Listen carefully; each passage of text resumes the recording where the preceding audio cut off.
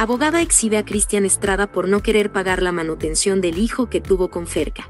Durante una emisión del reality show de Telemundo, La Casa de los Famosos, el exfutbolista Cristian Estrada desató una controversia al hablar sobre su exesposa, Ferca, y su hijo Leonel.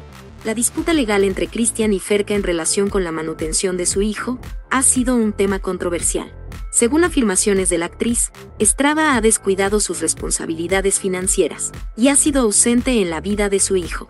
En un momento de vulnerabilidad en la casa de los famosos, Christian expresó su opinión sobre la situación, insinuando que no debería ser necesario pagar 50 o 70 mil pesos para ver a su hijo, implicando que su mera paternidad debería garantizar ese derecho. Sin embargo, la abogada de TikTok, Marcela Torres, intervino para aclarar el panorama legal. Explicó detalladamente la importancia de la pensión alimenticia y señaló que Estrada está legalmente obligado a contribuir económicamente al bienestar